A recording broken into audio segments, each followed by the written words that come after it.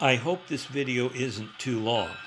I actually wanted to include more, but it was getting long and boring. In today's video, an example of operations on the San Luis Western, the one zone switcher moves two cars from the zone to the yard to be entrained. The rock job power leaves the diesel facility and assembles his train and departs for the rock quarry at Dangerfield. After leaving the quarry, he has a set out at the Costello beet loader and two box cars for the Laurel switcher. Finally, he runs around his train at Laurel and returns to Bruceville.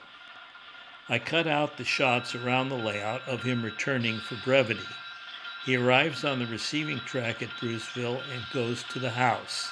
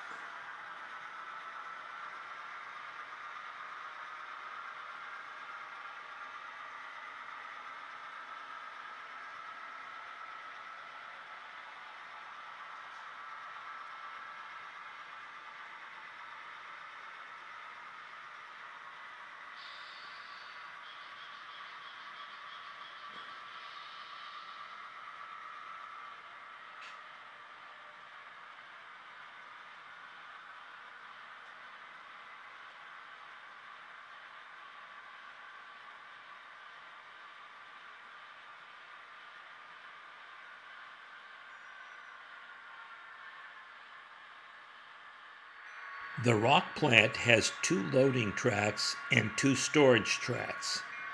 He will place his empties on a storage track, pull the loads, grab the empties and place them for loading, then get his caboose and depart.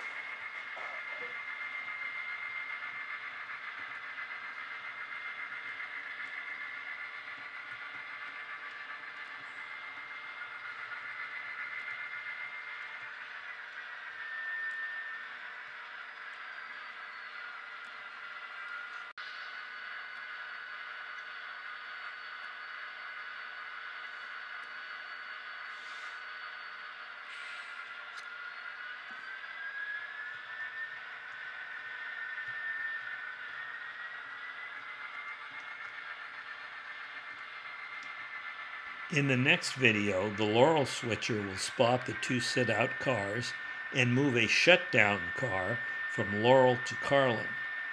A switcher will break up the arrived rock train, and who knows what else might happen.